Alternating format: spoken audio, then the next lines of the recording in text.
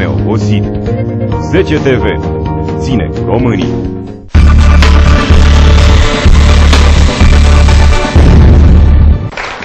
Pregătiți-vă!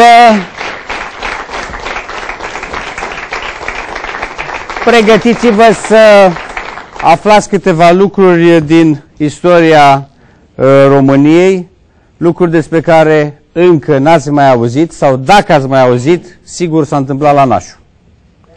Pentru că am văzut că v-au plăcut acele serii de dezvăluiri din lumea serviciilor secrete. Uh, Larry Watts, într-o lucrare, aș spune, făcută în primul rând pentru profesioniști, uh, încearcă să reconstituie prin documente această istorie neștiută de către noi. Noi, uh, printr-un document secret al uh, KGB-ului, trebuia să fim excluși din prima clasă, a întâia, să învățăm despre istoria noastră reală. Niciunul dintre noi nu știe astăzi, de fapt, ce s-a întâmplat aici. Și eu plec de la ce spunea, sau ce se întreba Larry Watts, cum naiba de poporul ăsta, după toate prin câte a trecut, mai vorbește o limbă latină, mai vorbește românește. Îl salut și pe colegul nostru Victor Roncea. Bună seara, Victor, un pasionat. Bună seara, mulțumesc.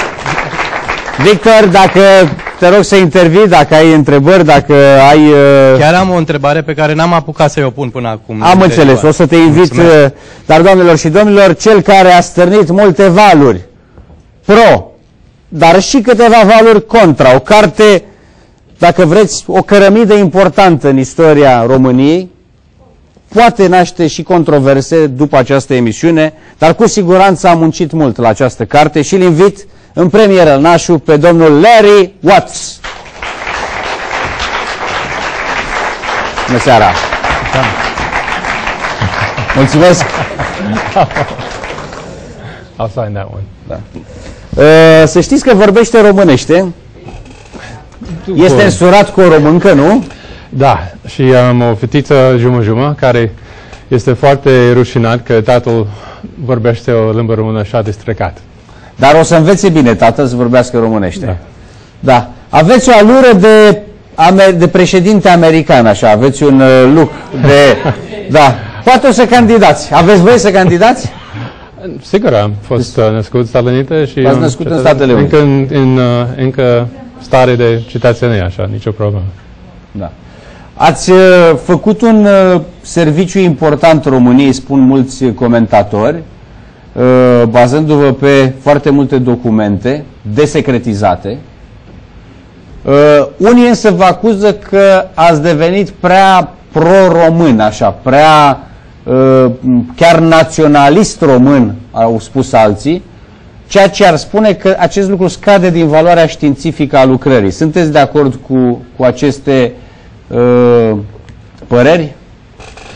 Uh, e foarte interesant din cauza uh, cu toate care am stat aici. Uh, toate, toți ani împreună mi se pare 24 de ani. 24 de ani stați în România, da? Da, prima dată a fost în 81 uh, și 2 ani, 82, 84 și am fost aici uh, pentru niște timp. Fiecare an, singurul an din anii 80, n-am fost aici, a fost 89 și n-am fost din intenție. Uh, dar uh, niciodată n-am uh, făcut o translație de la american la român. Chiar cartea aceasta a fost scrisă pentru americanii să explică câteva lucruri acolo. Uh, primul a fost uh, starea de relație reală înăuntru Pactul Varsovia. A doua a fost uh, cât de departe a fost percepția și înțelegere american. Și al treilea a fost să identifică de ce acest uh, mare spațiu între realitate și percepție americană din cauza dezinformare. Și cu asta trebuie să explic de ce România a fost așa de important pentru Pactul Varsovia, pentru Uniunea Sovietică și uh, ce fel de amenințări și ce fel de semnificații strategică a avut. Asta să spunem telespectatorilor că vă mirați în această carte cât de dezinformată a fost uh, America despre România, cu toate că aveau relații bune, uh, cât de interesată era Moscova să subjuge uh, România, de jocul ciudat al lui Ceaușescu și chiar aici aș vrea să vă întreb, uh, dezinformarea, ați identificat prin ce s-a făcut? Cum a fost dezinformată uh, țara dumneavoastră, Statele Unite, în legătură cu uh, Ceaușescu. Și cine a condus această dezinformare? Și nu doar Ceaușescu, și România. Nu, uh, de, chiar cu asta noi avem un fel de uh, s- un, uh, un loc de, de, uh, de start, un, un punct uh, principal. Din cauza media după a fost uh, cerut retragerea trupelor în 55, în, au- în august. Cam trei luni după asta a primit un raport, niște informații foarte important la ambasada americană despre faptul că România a fost uh, uh, desemnat de Moscova să devină un fel de showcase, o vitrină uh, de comunism să trage occidental și din cauza aceasta ei vor fi, um, cum- în primul rând, vor, uh, Sovromur, acest uh, joint venture așa, în stil sovietic, uh, vor fi închis și chiar trupele sovietice va fi retras. Așa, după deja a fost abordat situația și Deci, după, ca să, să înțeleagă toată lumea, prima mare dezinformare a fost că odată cu retragerea trupelor pe care... înainte, du- Chiar înainte. după cerere, după cerere. Deci după ce Dej a cerut retragerea da. trupelor sovietice de pe teritoriul României, cu toate că exista un acord semnat de mult, cum că ele vor fi retrase în 53, Da. deja a cerut acest lucru, fiindcă rușii nu vreau să respecte acel acord. Înainte, sau imediat după, sovieticii lansează prima mare dezinformare, că de fapt e planul Moscovei de a părea Ceaușescu dizident, de a atrage bani și capital și investiții, dar de fapt Ceaușescu și România e tot, Gheorghe Dej. Uh, ce- scuze, Gheorghiu Dej, dar România este de fapt tot pionul Moscovei. Da, da. Și asta n-a fost adevărat. Nu, dar a fost crezut. De fapt, a fost foarte plauzibil. Și una dintre problemele majore care noi am avut în Statele Unite a fost că uh, noi am avut oameni aici chiar la, înainte de sfârșitul al doilea război mondial. Acest OSS echipă Frank Wisner, uh, Wisner, care a devenit de fapt șeful de operațiune pentru CIA mai târziu, e- el a fost aici uh, cu um, scăpare de uh, uh, americani de la, uh, pri- de la închișor care a fost ajutat de partea română foarte, foarte mult, dar la același timp el a văzut cum, cât de dur a fost sistemul impus de sovietici când ei au venit. Și toți care au fost în perioada de anii 40, uh, uh, primii ani de 50, a văzut că aici a fost cel mai congelat din toată zona. Și din cauza aceasta, pentru ei, în orice caz, în uh, sistemele comuniste atunci, schimbările n-au venit prea repede, așa, cel puțin schimbările de, de independență, așa. Dar din afară de asta, România a fost cel mai rău și din cauza aceasta, orice informație despre o deschidere acolo, când România a fost la, la coadă pentru astfel de posibilitate, în gândirea noastră, uh, n-ar fost posibil și a fost plauzibil uh, acest reportaj că de fapt a fost un fel de șmecherie Mm. din Moscova. Deci nu vă venea să credeți că cea mai chinuită țară din blocul Da, soviet, da, da. din blocul KR, care era România, unde am acest document prin care KGB-ul în 2 iunie 47 a creat directiva specială pentru sovietizarea statelor din Imperiul, din Imperiul K- KGB, România fiind și ea aici, uh, nu era plauzibil ca brusc peste noapte, uite, o mână de românași, deci cu niște comuniști, să devină independenți față de Moscova. în special din cauza ei, a fo- ei a fost considerat cel mai rep, uh, reprimat și cel mai puțin uh, probabil să în- chiar încerc ceva ca asta. Și să merg de la coadă la, la, la prima în linie, în, în, într-o o perioadă foarte scurtă, a fost neplauzibil. A fost ceva aici. Și, uh, de fapt, primul ministru aici, care a devenit ambasador în 65, uh, William Crawford, el a venit aici în, la sfârșitul 61, care a, de fapt a fost cam fantastic din cauza el a avut o întrevedere cu președintele Kennedy. Și acolo, Kennedy a fost în România. El a fost, a fost în, încă un președinte în România, numai că el a fost tânăr. A, tatălui a fost ambasador la Londra atunci și a fost aici în 38. John Fitzgerald Kennedy, Da. înainte să ajungă președinte, a fost în România. Exact. Și el, abar n-a avut că România a fost latin, dar el a povestit, uh, Crawford a spus, el a povestit cu niște entuziasm despre frumusețe femeile din România.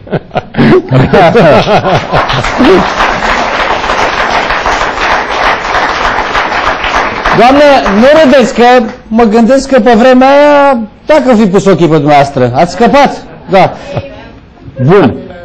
Deci, iată că aveau informații plăcute despre România, americanii, dar n-au înțeles niciodată cum peste noapte noi am devenit independenți. Dumneavoastră ați înțeles cum de a reușit Dej cu o mână de oameni brusc să se rupă de Moscova chiar până la uh, ipoteza, așa știam eu, ca Moscova să ordone uciderea lui Dej? A, De fapt, am, uh, am avut niște idei generale, de, numai judecând uh, uh, în, în revers, așa. N-am știut, uh, numai a fost în perioadă de uh, cercetare pentru carte, ca, în care, de fapt, uh, am abordat carte exact într-o perioadă foarte potrivit. A fost uh, un nou program de declasificare la CIA, care a băgat toate pe internet. și după asta, uh, sau în, în același timp, au fost uh, trei uh, lucrurile care au fost foarte de, de ajutor. Unul a fost lucrarea la Gauck Institute cu uh, uh, documente de la Stasi și uh, care a fost, i-a făcut o grămadă de schimbările și uh, deschidere acolo. Și din afară de această, de acest două program, Cold War International History Project în Statele Unite, care este pe internet, și Parallel History Project în uh, Elveția. Și toți au băgat uh, uh, toate felurile de documentele găsite din uh, fost pactul Varsovia, care a arătat de fapt ce a fost înăuntru, lucrurile care n-au fost făcute pentru uh, uzul public. Și uh, aici, cu toate acestea, a fost niște lucrurile și faptul că în România, chiar dacă n-a fost o abordare sau abordarea a fost întârziat pentru uh, uh, acest fel de cercetare uh, sistematic, a fost niște documentele care a ieșit uh, în față, care a, a explicat niște lucrurile foarte bune. De exemplu, întâlnirea aceasta la uh, Comitetul Central în 63, când a fost descris exact intenție și program pentru scoatere toate rețelele sovietice din, uh, de informație din România. Uh, asta explică foarte mult. Odată trupele e retras, există o posibilitate pentru independență. Dar din afară de asta, acest oameni cu legăturile... Că nu era suficient să plece trupele, Da. ci era foarte important ceea ce s-a întâmplat ca să se scoată toate cârtițele, toate, Exact. eh, toți oamenii Moscovei, toți agenții de influență, toți agenții care au fost implementați odată cu 45, poate chiar mai devreme, Da. în eh, România. Dar cum de asta nu înțeleg eu, cum de Gheorghiu Dej, dintr-un criminal totuși, adică el a făcut multe uh, crime în perioada respectivă, dură. Da. Cum de el peste noapte s-a transformat? Ați găsit documente? Cine l-a schimbat pe Dej și politica celor din jurul lui ca brusc să se rupă de Moscova? Da, chestia aici e foarte interesant din cauza problemele între România și Moscova niciodată n-a fost legat cu uh, comunism, cu ideologie. Și politica în România care a cucerit lumea în timpul aceasta uh, n-a avut nici n-a avut nicio legătură cu comunism. A fost aceeași politică de la perioada interbelică a lui Nicolae Titlescu, dar chiar a avut niște rădăcini mai devreme decât burjuazii. Și asta a fost o, o politică, orice stat mic care a vrut uh, să aibă o, o, un- o protejare pe plan internațional. A fost niște concepții și, uh, niște concepții și niște teme din drept internațional clasic liberal. Uh, independență, egalitate, uh, ne... Uh, Amestec între- Exact. Toate acestea este de la drept internațional clasic liberal. Și acolo a fost toate câștigări. Și din uh, cauza aceasta, uh, regimul comunist în România a, a câștigat un popularitate și un sprijin popular nemeritat. Din cauza n-a fost, a, a fost meritat din cauza ei a făcut asta, dar a fost meritat numai din cauza asta a fost o politică românească, nu din cauza a fost uh, o politică comunistă. Deci la un moment dat Dej, speriat probabil că va ajunge sub uh, papucul rușilor, A fost ceva mai, mult mai dur. mult mai dur. Uh, în perioada Comintern, ei a fost forțat să lucreze în, uh, sub oameni care chiar n-au fost cetățeni în România. A fost Comisarii, de la, nu? Nu, nu, uh, șefii de partid, care a fost de la Partidul Polonez, uh, Partidul Ucrainien, Partidul Maghiar.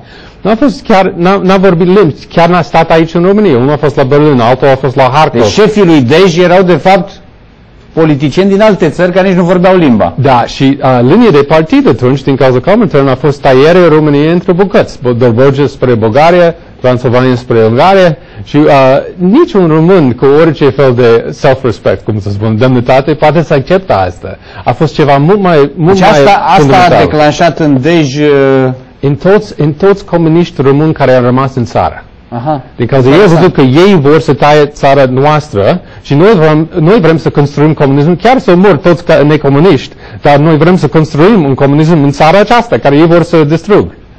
E, a fost Deci ceva... teza național comunismului. Da, dar a, așa nu, n-a formulat ca asta, numai că unde a fost logic, din cauza n-a fost, n-a fost o situație în care bucata aceasta a avut o majoritate a, de la țara cealaltă.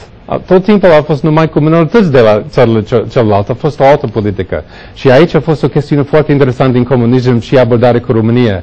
Ei a abordat, uh, ei a luat, uh, se, se care că ei a adaptat aceeași interesele imperialist în, înăuntru acest uh, Comintern pentru, răz- uh, pentru uh, Re- Revoluția Mondială, fără nicio problemă. A fost translată imediat ca ceva necesar uh, Și credeți că românii, inclusiv comuniștii, simțeau această tendință imperialistă a Rusiei? Există niște documentele foarte clare de la atunci uh, um, democrat social, așa, socialiștii aici, care a, s- a, chiar a publicat în ziarul atunci, uh, în legătură cu Ungaria, că ar fi mult mai bun pentru ei să ieși în față cu interesele lor uh, și să nu ascund în, în spatele comunism și socialism, din cauza și uh, asta sublinează și ideologia. Și aici, uh, primul lucru, primul telegram trimis de la Bela Kun în 1919 spre Lenin a fost că cauza Revoluției a fost să uh, blochează transfer Transilvania spre România. Uh, a- de fapt, primul lucru pentru Revoluția Mondială Comunist a fost teritoriul românesc. Și aici, de la aici a fost o chestie... La să spuneți în carte că întotdeauna a fost o colaborare foarte strânsă între Uniunea Sovietică și Budapesta. Da. Nu, asta a fost un, pentru mine a fost o uh, descoperire de fapt că n-am făcut asta în, întâi. Uh, chiar am, uh, uh, am citit asta de la niște scriitori maghiari, dar m, uh, în special de la niște scriitori uh, rus, care a descoperit asta deja în arhivele și a vorbit despre faptul că interesele, scuze, interesele de la primul război mondial a împins unul spre al- celălalt. Din cauza amândoi a avut aceeași poziție ca Rusia țaristă. Eu voi scap. Da, luați uh, dușmanii, dușmanii. Uh, da. Prea mult pasiune. Pe asta, cu- ferește-mă, Doamne, de prietene. Da. Da. Da. Și uh, uh, înainte de uh, toate acestea cu uh, Rusia uh, țaristă și um, Imperiul Habsburgic, ei au văzut pe spațiul românesc în aceeași fel, din cauza ei au avut atunci, ei au avut teritoriul Basarabiei, ei au avut teritoriul Transilvania, dar ei au știut că majoritatea acolo a fost a României. Și dacă Român- România, acest principalități, atunci va deveni, uh, va deveni un stat consolidat, va fi o tracție majoră pentru asta și ei vor pierde teritoriul și uh, nu, să nu spun. Aha, deși Imperiul Habsburgic și Imperiul Țarist n-au avut niciodată interesul ca România să se consolideze. Exact, exact. Și e conlucrat, uh, uh, chiar dacă uh, cel mai multe ori n-a fost ceva formal, ei a conlucrat să blochează astfel de Dar desfășurare. ce încurca până la urmă poziția geostrategică? Asta a încurcat și pe ruși și pe unguri. A, pentru un timp a fost și pe Ottoman, numai că Ottoman deja a fost pe sfârșitul în uh, expansiune. Pentru amândoi, pentru Asporgici și după asta pentru Austro-Ungaria, dar mai, mai mult cu Asporgici și cu uh, țariști, România a fost o zonă de expansiune. N-a fost numai să rețină ce ei a vrut, ei a vrut să iau și celălalt. Rusia a vrut acest coridor și acest linie cu uh, țările slav. Și în perioada aceasta, cu populația așa de amestecată în Dobrogea, acest bucată nu este așa de lung să ajunge unde trebuie.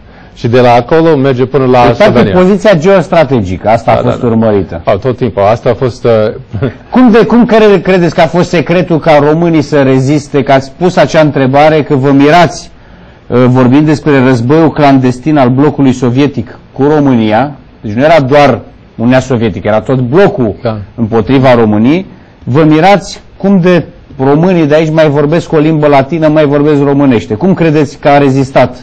Uh, am rezistat. Uh, De fapt, mirarea mea a venit din faptul că acest lucru a fost de la, uh, pentru secole înainte.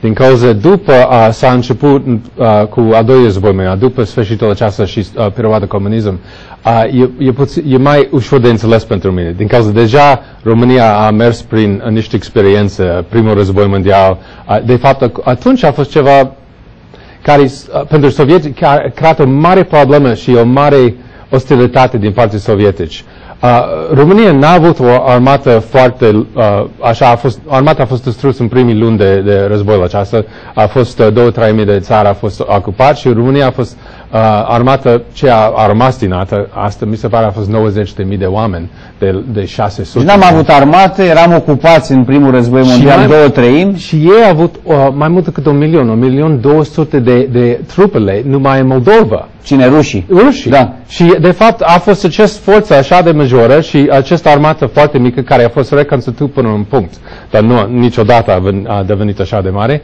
Și, la, și a avut o populație de țărani care a fost foarte aproape în condiții cu țăranii din uh, Rusia țaristă. Și în timpul Revoluției din Bolș- uh, bolșevic, ei a anticipat pentru și țărănimii uh, românii să, să merg cu ei. Dar, de fapt, niște dintre reportele de informații britanice a spus că din cauza acest este de proveniență rusă, România va respinge.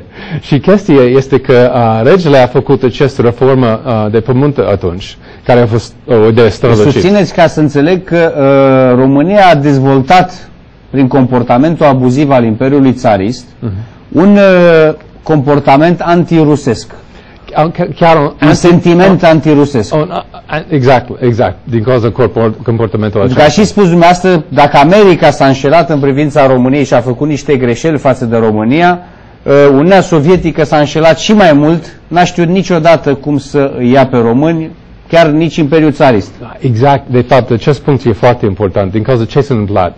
Uh, Rusia a avut acest program pentru expansiune din zonă și cu asta România a, fost o, a împiedicat lucrurile. Deci noi, Buturuga Mică, a împiedicat întotdeauna carul sovietic să se Exact. să facă această expansiune. Și când ea a devenit bolșevic și românii n-au mers cu ei, chiar nu numai aceasta, dar chiar a dezarmat acest armată așa de mare și a trimis acasă.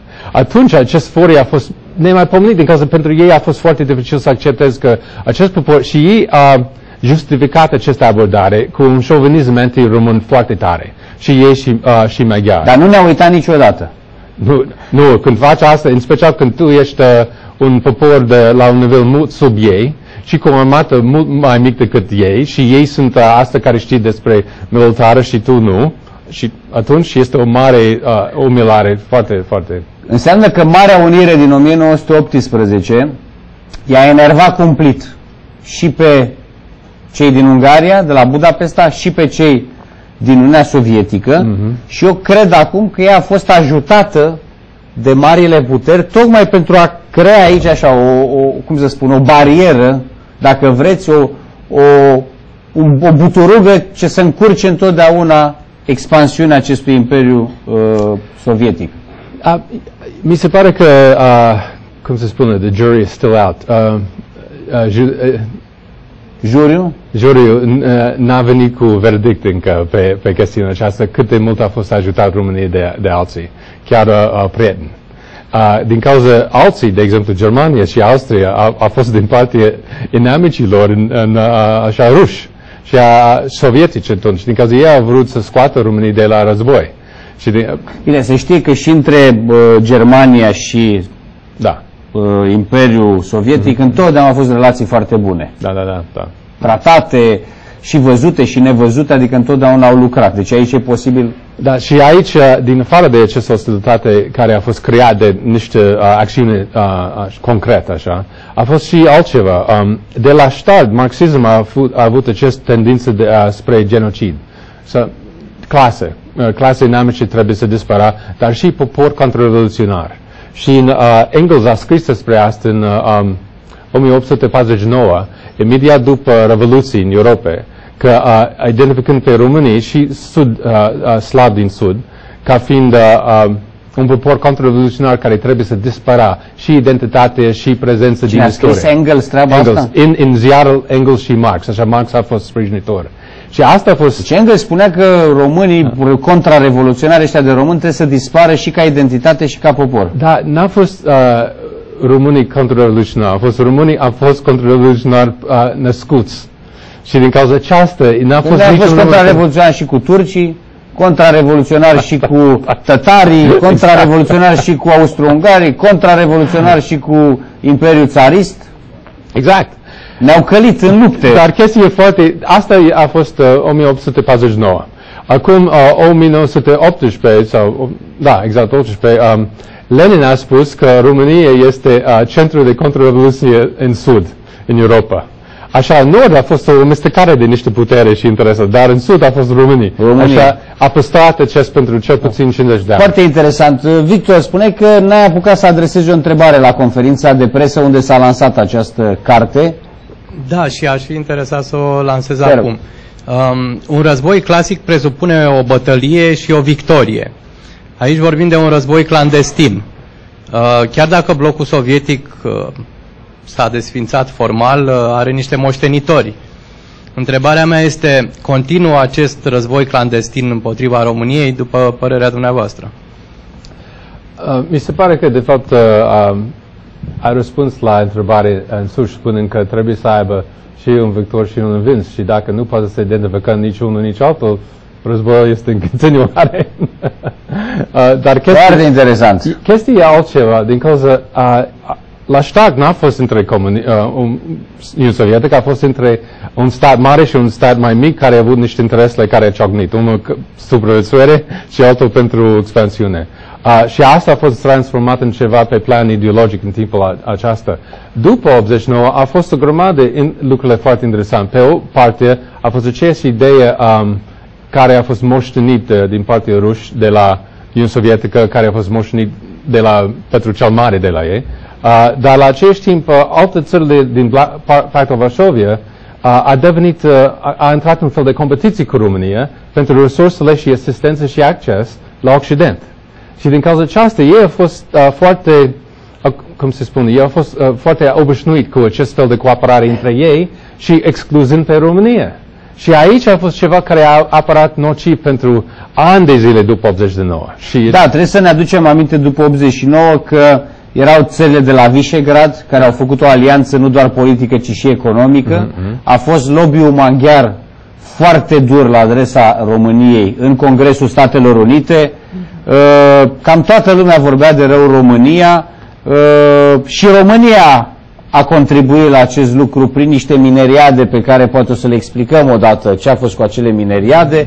Uh, Cert e că, uh, ați spus-o și dumneavoastră, noi ne-am trezit după 89 fără niciun, cu mulți prieteni, dar de fapt nu prea ne erau prieteni.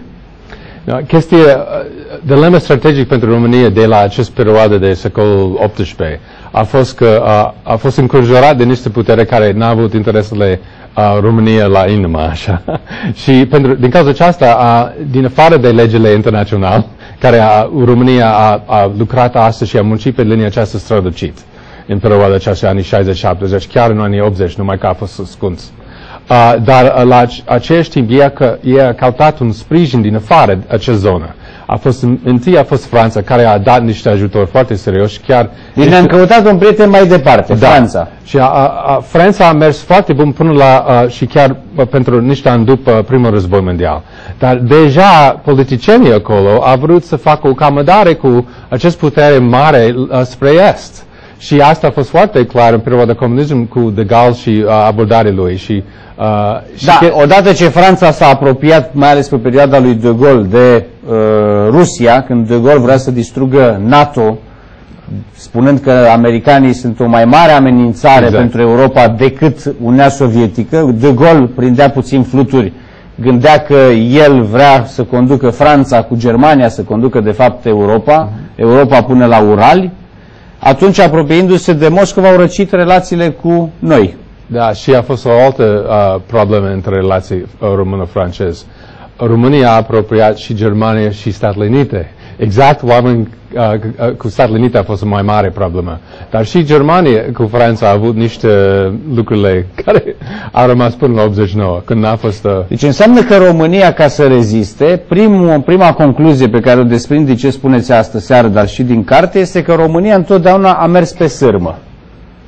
A jucat cu toată lumea, a jucat și împotriva tuturor, a încercat mereu să aibă soluții de rezervă. Asta e cam trei sferturi corect. Păi mai departe spuneți-ne dumneavoastră. nu, a- din cauza asta e exact uh, abordare generală, dar să supraviețui asta uh, în, prin toate acestea și pentru o perioadă așa de lung, România chiar a construit o strategie, niște principii de bază. N-a fost ceva în care a schimbat uh, un parte pentru celălalt. De fapt, este uh, o poveste frumoasă, des, frumoasă pentru alții uh, despre al doilea război mondial. Că România a trădat un partener și a mers în cealaltă direcție. Dar nimeni nu vorbește despre faptul că, de fapt, România a semnalat asta pentru dacă nu ani de zile, cel puțin luni, că dacă acest lucru nu va fi făcut, ei vor merg separat din cauza interesul lor a fost numai pentru uh, învingerea Uniunii Sovietică care, care n-a fost posibil acum. Uh, și Germania... Sugerați că noi am mimat alianța cu Germania Nu, nu, nu. pe ultima perioadă. A fost destul de clar, real. Numai că a fost pe plan reciproc, uh, avantaj reciproc. Și când avantaj... Adică nu eram noi naziști, hitleriști, ci aveam nevoie de Germania ca să ne câștigăm războiul cu Uniunea Sovi- cu Rusia. Asta, e două chestiuni aici, din cauza unul nu exclude cealaltul. Eu, eu vorbesc numai despre aceasta pe strategie. România a intrat în războiul acesta numai din cauza atac și uh, uh, invazii din partea Uniunii Sovietică. Din cauza din, afară, din înainte aceasta a fost orientată în altă, cealaltă direcție. Și uh, cu asta, a chestie pentru Deci din România... interes național România a intrat în această Exact, exact. alianță. Știți ce mă interesează? De ce România a fost condamnată dur de către presă, de către marile puteri pentru alianța cu uh, Germania lui Hitler, pe care dumneavoastră susțineți că am făcut-o din interes național, ca să ne recuperăm teritoriile, nu? Transilvania, uh, Basarabia, iar Anglia, care a avut un acord la un dat cu Hitler, Da, este, cum să spun, Anglia care putea să grăbească sfârșitul lui Hitler și Churchill, din acele documente desecretizate, a refuzat planul unor militari să sprijine niște militari germani care vreau să le elimine pe Hitler, pe rațiuni tot de interes național. Marea Britanie spunea Churchill, domnule, interesul meu este să se ducă nemții să-și rupă genunchii prin Rusia, ca să nu fie Germania o mare putere, ci să fim noi. De ce iată o mare putere, Marea Britanie, nu este judecată pentru jocurile cu Hitler, concubinaj, da? Sau cu sovieticii Da, după da. aceea, iar noi pentru că n-aveam de ales, Da, e- de fapt asta este cam 10 întrebări. Da. uh, și uh, um, câteva lucruri din asta. Primul este că istoria este scris de cei care câștigă. Asta este o normă. Și e normal. că Cum poate să fie altceva? Numai dacă unul dintre cel mai mare, uh, cum se spune, uh, statele cu cel mai mare număr de uh, editori poate să câștigă astfel de bătaie. Uh, dar din afară de asta, chestia este că dacă intră într-o al- alianță cu un amicul meu, tu ești condamnabil. Nu e nicio chestiune despre asta. Chiar dacă ai avut toate argumente pentru asta. De, de fapt, e unul dintre anomalii foarte interesant pentru mine, care n-a fost exploatat încă uh, în, uh, nici în România n-am văzut prea des uh, acest fel de abordare, este că România, de fapt, a avut drept internațional pe partea lor când ea a început uh, frontul de nest. Din cauza teritoriului aceasta a fost Basarabia și Buco- nu- Bucovina. deci de era Nord. legitimă intervenția noastră Pe, uh, sub lege internațională, da, din cauza n-a fost niciun tratat semnat care a cumpărat asta la Uniunea Sovietică. Uh, finlandezii... Dacă spuneți că Antonescu avea dreptul să treacă prutul, era acoperit de legile internaționale, fiindcă rușii pur și simplu ne-au luat un teritoriu Da. fără niciun Pentru- tratat internațional. Pentru intrare, e- dar este două principii de, de, de lege internațională care e foarte important. Unul este uh, uh, uh, jus uh, ad bellum, uh, legitimitate pentru intrare în război și altul este jus in bello. Uh, asta înseamnă că ai comportat legal în perioada război. Și aici lucrurile pică. Aici, aici, aici e argumente. Uh, și uh, Așa, asta e parte ce- asta. Dar chestia este că acest, acest fenomen a fost unic în Europa. Numai România, a- a- Finland, Finlandia, după acest război uh, din, de iarnă acolo, uh, e- așa de eroic, i-a semnat un tratat care a transferat proprietatea la, la Uniunea Sovietică. Și din cauza aceasta, când ei intrat în război, ei n-au avut acoperire. Și din cauza aceasta, din toată aliața Germaniei în războiul acesta, România a fost singura care n-a dat o scuză. A spus direct de ce ea a intrat în război la Moscova. Și uh, aici a fost, acest este un fel de footnote. Am înțeles. Bun. Uh, S-a spus că sunteți un pic prea împotriva rușilor, rusofob, în această lucrare, având și nostalgia războiului uh, rece. Uh, credeți că ați reușit să fiți obiectiv în ceea ce privește acest război al blocului sovietic cu România? V-ați bazat strict pe documente sau ați venit și cu ceva emoție în acest... uh,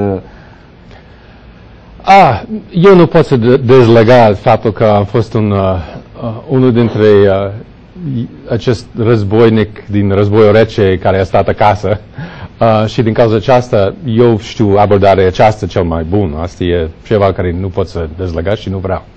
Uh, dar poate celălalt a fost că e interesant despre credibilitatea mea, din cauza, asta e prima, prima dată când am auzit asta, dar probabil eu voi iau de asta chiar mai mult. Uh, chestia cu uh, Rusia, am încercat de fapt aici să, să, să dau povestea aceasta, nu din punct de vedere nici de, uh, așa, nu din punct de vedere de românii în special. E foarte puțin documentele din România acolo, cam 12 mi se pare. Chiar e mult mai mult pe site-ul meu, cam 300 de mm-hmm. documente din Pactul Varsovia. Uh, și uh, am făcut asta în special să arată cum a fost abordarea dinăuntru Pactul Varsovia de la ei. Să nu spun că de fapt acesta este un punct de vedere de un uh, academic american sau un uh, român care poate să fie steric și paranoid, uh, dar este de fapt ce ei a spus. Nu este Aha, deci este viziunea pactului de la Varșovia despre România. Asta exact. ați încercat. Exact, exact. Bun, și, uh, atunci vă întreb, uh, haideți să vorbim despre Ceaușescu puțin, despre mărirea și decăderea unui personaj despre care încă nu știm foarte multe lucruri. Uh, cum a ajuns Ceaușescu totuși, un țăran, pantofar, fără educație, da? să facă niște jocuri sau să fie primit de cele mai înalte case. A fost la Casa Albă, Casa Albă a fost aici, a fost la Londra, în Caleașca Reginei. România a semnat contracte cu aceste țări capitaliste. Mm-hmm. Cum a ajuns? Aici răspunsul provine din aceeași uh, remarcă care am făcut despre acest politică românească care a fost preluat de comuniști. Și a fost preluat de comuniști care a fost uh, aproape toți care au avut învățământ, a fost învățământ uh, sub un sistem regal. Asta... Deci susțineți că chiar dacă s-a schimbat regimul, s-a păstrat același joc al României strategic pe care l-a avut și pe vremea regiului, regelui. El nu păstrat cu discontinuități din cauza a fost o perioadă sub Stalin în care n-a fost nicio mișcare. A, toate politica și politica externă a fost a lor. Și asta a durat până la sfârșitul Stalin. Dar Stalin, nu? imediat după asta, Jan Gheorghe Mauer, Emil Bodnar și amândoi care au fost intelectual din zona aceasta, unul de la uh, chiar uh, Bodnaraș a mers la facultate de, lege, uh, de drept după o școală în care el a fost o valedictorian la școală militară. Jan Gheorghe Mare a fost strălucit. Uh, și ei a fost uh, bază de acest politică de uh, externă și de securitate, care a fost pentru ei ceva care e cunoscut deja. Uh-huh. Și aici... Uh, și l-au influențat pe Ceaușescu să facă aceste... Nu, nu, nu. Chestia a fost că Gheorghe deja a adaptat asta în primul rând cu ei. Mm-hmm. Și a fost imediat după uh, plecarea lui Stalin, când i-a abordat pe această uh, linie. Și Ceaușescu a fost unul dintre echipă. Dar toți au împărțit asta și a fost creat aici niște școli de uh, abordare internațională strălucită. Unul a fost pe direcție de, uh, în special pe direcție de mediere. Și asta a fost un punct principal care a fost uh, rostit de Gheorghe Dej chiar înainte de această, uh, așa zis, uh, declarație de independență în 64, în aprilie. Dar acolo spune clar că fiecare stat are un, uh, o datorie sacru să mediezi între uh, părți în situații de tensiune și să stăm de vorbă și cu capăt list. Și asta nu este renunțare de, uh, de uh, ideologie, numai asta este recunoaștere că um, politica și relațiile internaționale să fie sănătoase trebuie să fie ne, uh, nu, nu trebuie să fie bazat pe ideologie. Uh-huh. Aici a fost un punct de plecare care a creat multe probleme cu sovietici și prin toate timpul. Asta a fost toate felul de... Relația cu China, relația cu Statele Unite, chiar, cu RFG-ul. Dar China chiar a avut o problemă cu asta la start. Pentru că și ei au fost comuniști. Și românii spun că poate să intre în orice legătură cu oricine fără condiționare. O politică care China merge cu asta foarte bine, bun astăzi. Este un câștigător pentru ei. Dar în perioada aceasta sovietice a mers cel puțin prin propagandă și prin abordare înăuntru partea Varsovia pe linie de ideologie. Trebuie să fie în război cu ei. Khrushchev a stat foarte puțin, uh, dar uh, eu știu un episod povestit aici de un martor. Khrushchev a fost în România, a avut o dispută cu Gheorghiu Dej, pare să că l-a și scuipat pe uh, Gheorghiu Dej, cel care l-a șters pe frunte, pe obraz pe Gheorghiu Dej, pare să că a fost chiar Ceaușescu cu batista lui. Asta știam. Nu știam însă dacă e adevărat că Moscova a ordonat asasinarea lui uh, Gheorghiu Dej. Avem documente? Avem foarte multe rapoarte uh, și acum uh, um, uh, am văzut foarte multe articole scrise despre uh, uh, cancer cu, și cum asta s-a dezvoltat uh, și cu tra- uh, tratare poate să fie influențat asta în mod mai bun. Dar au fost niște încercări care au fost normalizate și chiar raportat lui uh, uh, Baron Macșoni Sterce, când el a fost uh, lăsat să placă din țară după 17 ani în închisoare, uh, el a stat de vorbă cu, se, uh, cu șefii de securitate și ei a povestit despre trei ante, uh, încercări, dar uh, mai Trei târziu- încercări de asasinat al lui Dej? da. Și deja a vorbit despre încă doi în Comit Central. Uh, lucrurile în care a fost, uh, el a fost într-o mașină, uh, de, uh, primul a fost de vreme, el a fost într-o mașină și a fost un fel de... Uh, uh, cum- Accident? nu accident, oamenii cu, uh, cu armele care au împușcat pe mașină, a fost foarte multă gaură. Uh, și uh, a fost câteva lucruri care nu sunt inclus nici în unul, nici în altul, dar care a fost foarte suspectat de, de partea română. Primul a fost în uh, 58-59, când ei a fost imediat după război sovietic a, a, a luat toate vapori și toate uh, avioane. Uh, asta a fost pradă de război pentru ei. Și din cauza aceasta, după uh, comunism s-a intrat, toate echipele și toate avioane care au fost folosite pentru călătorie au fost sovietici cu echipele sovietici. Și uh, pe unul dintre acest curs a prăbușit la aeroport în Moscova și chiar uh, Gheorghe Preotoasă a, a, a, A murit. a fost ucis acolo. În avionul era și Dej? Uh, deci a fost Sau- programat să Ceaușescu merg. știu că era. Ceaușescu a fost, uh, deci a fost programat, dar la aeroport el a renunțat. Și uh, este posibil că asta a fost intenționat din cauza atunci el a fost în stare să facă astfel de lucru, dar și în, uh, în 62, în perioada exact înainte de să fie informat despre rachetele în Cuba, um, echipa sovietică și cu avioane sovietici, uh, Dej, și, uh, Dej a vrut să facă o călătorie în uh, Asia. Și ei a pus acest avion pe o curs care a mers uh, deasupra China fără să încerc chiar să întreb pentru aprobare. Și China a fost foarte aproape să dobor acest avion. Avionul cu Dej? Da. Și Noroc când- că probabil s-ar fi informat și au aflat cine e în avionul ăla. a fost niște schimbările acolo și uh, în sfârșit, uh, când el a ajuns și a auzit despre asta, el a știut, pentru el, el a știut ce, despre ce a fost vorba. El a spus că uh, chiar um, uh, Brezhnev a avut nevoie de, sau Khrushchev a avut nevoie de uh, cadavrele, uh, uh, ca- cadavrul Meu. cadavrul meu, uh, să dau dovedire că de fapt China sunt niște barbari. Asta și de Foarte fapt... interesant. Deci rușii au vro- folosit această capcană ca să arate chinezii cum doboară avionul. Și să sco- sco- scoată deci de la joc. Foarte interesant. Mă întorc la, la uh, Ceaușescu. Oh, Și- scuza, da. eu sunt dator la un Da. răspuns încă. Uh, vă fi repede. Pe o parte, a avut acest, uh, um, Ceausescu a, a, a luat acest politică strălucit externă de securitate, care a fost unul de mediere tot timpul. Ceva foarte constructiv și mai constructiv de cel mai mulți țările din Occident. Dar, pe de altă parte, el a fost un comunist care a înțeles comunism într-un mod foarte primitiv, în care nu poate să împărți orice putere din afară de dictatori de proletariat și nu poate să aibă altă fel de proprietate din afară de partid stat, care a blocat orice fel de liberalizare, orice fel de reformă. Dar Aici pentru e că problema. americanii au cerut, spuneți dumneavoastră, de multe ori să liberalizeze, să creeze partide, ori Ceaușescu știa că asta ar fi însemnat sfârșitul lui. S-a crezut asta. Sau a crezut asta. Bun. Uh, am văzut din acest document, și o să vorbim despre el poate în altă emisiune, cum uh, Moscova, după ce a cucerit România, și-a implantat oameni peste tot. Da, peste tot. Da? Da. A promovat uh, doar oameni verificați sau oameni aprobați de către KGB puteau să promoveze. Și dumneavoastră spuneți că erau în România cinci magnifici, da? sau aproape magnifici, cinci personaje la vârful de decizie din România care erau agenți KGB. Unul dintre ei a spus Mihai Pacepa. Da. Întrebare. Ați fost foarte categoric aici. Pacepa cum putea să fie primit de Statele Unite dacă nu era agent dublu, zic eu?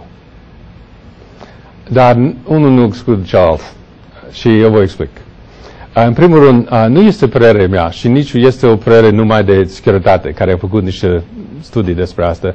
Uh, Pacepa a spus asta foarte clar, foarte multe ori. De fapt, uh, unul dintre uh, locul în care i-a spus asta a fost foarte important din cauza a fost într-un seminar, uh, de fapt un simpozium pe Front Page Magazine, este pe internet, uh, se cheamă uh, KGB Resurrection. Și acolo în față a fost Vladimir Bukovski și a fost uh, James Wolseley, care a fost șeful de, KG, de, șeful de CIA între 93-95. Și pe ce a spus, am fost un agent soviet pentru 27 de ani. Asta este întregul carieră în care el a fost aici în România. Mhm. Atunci nu este ceva de discut aici. El a Ce fost, credeți atunci că el când a defectat, a defectat nu atât din România, ci a defectat din agentura sovietică? A, aici, este, aici e o chestiune care este, f- și asta e puțin complicat. De ce? Din cauza foarte mulți care a defectat din uh, uh, blocul sovietic, n-a defectat, n-a, n-a, cum se spune, întors total împotriva țările uh, mame. De fapt, ei au avut niște sentimente și chiar ei au pus niște lucrurile în continuare pe niște linie. E posibil că ei au făcut asta din cauza și ei au fost indus în eroare înainte. De exemplu, Oleg Gordievski, uh, șef de stație în Londra, KGB, care a plecat în 85. Uh, în uh, 1990, el a publicat o carte în care el fac o afirmație acolo că Gheorghe Dej a fost un agent soviet. Now, asta e plauzibil, din cauza în perioada stalinist, el a fost un agent soviet, din cauza toți comuniști lideri a fost, dar după asta el a fost altceva total și pentru el să râde ca asta atunci a fost o linie de dezinformare sovietic. Acel, uh, încă o caz care este chiar mai interesant uh, în legătură cu România. Uh, în uh, Oleg Kalugin, care n-a defectat, dar el a ciocnit cu KGB și după asta el a plecat în Statele Unite, uh, el a publicat o carte în uh, 93-94 și acolo el a vorbit despre uh, faptul că el a creat un fel de echipă antiterror în 1976. Și uh, spunând tot timpul că uh, Uniunea Sovietic n-a avut n- nimic să facă cu terorism. Și acum noi avem documentele de la Andropov, Andropov în care el chiar fac asta un punct de mândru că de fapt șefii de aceste echipe de terorism sunt uh, agenții și noi putem îndrume uh, ei pe... Și au creat și o divizie de teroriști până la urmă. Da, exact, exact. Dar el a spus asta că el a creat acest lucru în 76 și el a descoperit niște țări din Europa de Est care au fost angajați. Și a fost o mare problemă. Și el a numărat patru. Trei dintre ei nu există acum. Ceoslovacia, Iugoslavia, Germania de Est. A patra a fost România. Și el a Singura care a rămas. Singurul care, și ce e cel mai interesant aici este că în perioada de la 1979 până la 1985, uh, Carlo Șacalui a avut uh, centru de operațiune în Budapest.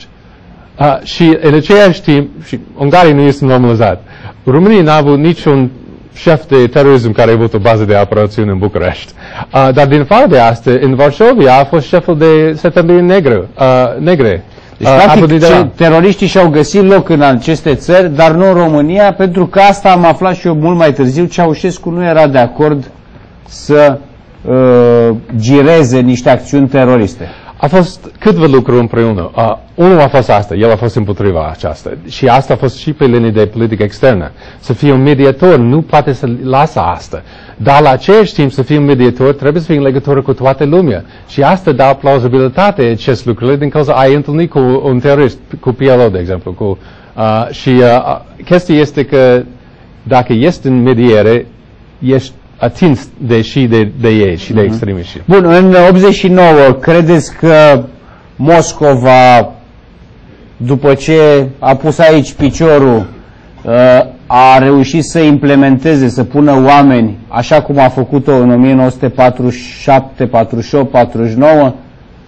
În, după 89? Da. Pentru că scenariul oarecum se repetă. Nu, chestia a fost mult mai complicat. Dacă ar fi ca atunci, ar fi mult mai simplu pentru toată lumea. Uh, problema, uh, aici noi intrăm într-o problemă uh, și de judecare de trădare.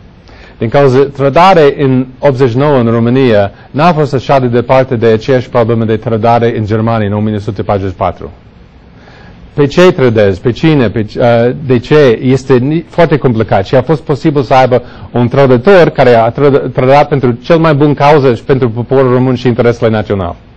Și dar la același timp a fost niște gheriusti uh, în, uh, încercați, așa, oameni care au fost expus mult mai înainte. Și aici chestia a fost complicat mai, mai mult din cauza faptului că uh, Gorbachev a avut un război acolo în Moscova între el și KGB și militari. Și în România a apărat și militar, și KGB, și perestroikist. Și a, din Deci cauza... acolo a fost o confruntare mut- la Moscova care s-a mutat și pe teritoriul O, României. da, o, da. Și, uh, și aici uh, chestia uh, nu este, din cauza aceasta, este, mi se pare că asta este una dintre cauze uh, pentru aceste dificultăți să, să, găse, să, uh, să găsiți uh, un răspuns la această întrebare despre... Nu, mi-ați dat Rusia. un răspuns foarte important și anume că acțiunile, să zicem, numite rusești pe teritoriul României după 89 n-au fost unitare. Da. KGB-ul a acționat dur pe o linie și aici aș putea să spun linia militarul, activarea a zeci de ofițeri Da, da. uh, GRU la vârfurile armatei și securității, Foarte conservativ, da. cu viza de la Brucan, Silviu Brucan, deci peste 30 de mari înalți ofițeri brusc au fost înaintați ca să se dea și un semnal față de către ceilalți, vedeți că am venit noi. Cred că Ion Iliescu n-a fost în echipa asta, a fost și el într-o altă echipă, dar probabil perestroichistă. Da, El să fi mers pe linia Gorbaciov. Asta se pare că asta a fost, da. Așa. Dar de ce trebuia executat Ceaușescu? Credeți că ordinul a venit pe linie KGB-GRU? Sau a fost o înțelegere la Malta între Bush senior Acum- și Gorbaciov? Ok, în, în, ok, două, două răspunsuri. Uh, Niciunul este care este satisfăcător. Uh, primul este că uh, am fost ocupat și încă eu sunt ocupat din cauza uh, volumul al doua trebuie să fie gata până la anul. Uh, și uh, împinge mai departe de cartea aceasta care uh, uh, merge până la 1978. Dar um, și, din cauza, cea, și din cauza, de fapt, uh, concentrarea mea este ce Partea Varsovia face vis-a-vis România. Aici aveți și documente, fiindcă s-au desecretizat. Da, da. Pentru perioada pentru care vă întreb, încă nu există desecretizate documente suficiente. Suficiente. Oh, da, che- aici e o chestiune foarte interesantă și cu analiză de informații și cu istorie. Tot timpul oamenii scrie istorie sau analiză cu uh, informații care ei au, nu, nu cu informații care ei au nevoie. Și uh, asta este unul dintre... dintre Adică nu avem toate documentele necesare. da. Exact, dar există foarte mult, foarte multe. Numai că trebuie să știu uh, pe ce ușile să... Totuși, eu nu cred ca ziarist, ca om cu multe informații, că Ceaușescu întâmplător a fost asasinat și exact pe 25 uh, decembrie. Atenție, Crăciunul rușii îl sărbătoresc Păi cât e? În uh, ian- 7 ianuarie. Da? Da. Dar asta...